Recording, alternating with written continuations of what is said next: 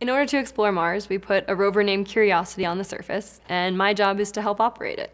So Curiosity, you can think of it like a really cool remote-controlled car on another planet. It's a six-wheeled rover, and it has some instruments that are mounted on the rover's mast. It also has some instruments on the end of the rover's arm, and several instruments that are inside the rover's body. So the way that operations works is we spend a full day on Earth trying to plan what the rover's doing that day on Mars. And at the end of the day, we send up a bundle of commands, and the rover gets them, carries it out overnight, and we come in the next morning with brand new data. So I'm actually really liking some of these rocks on the lower left part of this image. My role in mission operations is that I'm responsible for any of the geology observations that we do that day on Mars.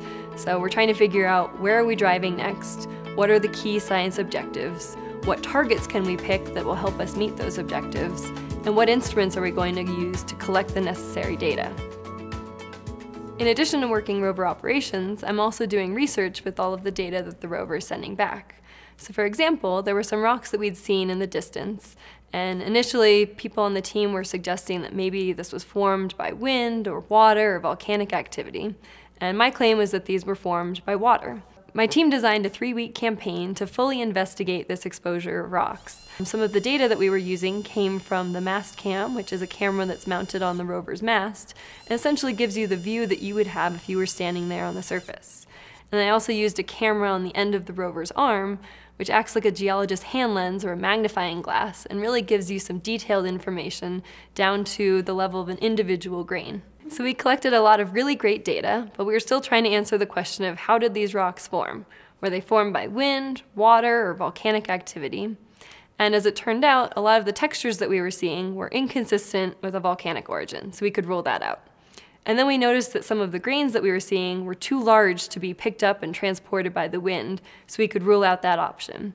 And then we found some evidence that was really consistent with rocks being formed by water. So for example, some of the grains were really well rounded and they showed evidence for dents in them that you know, represent collisions with other particles as these rocks were picked up and transported by water. So in the end, the claim that these rocks were formed by water was best supported by all of the evidence.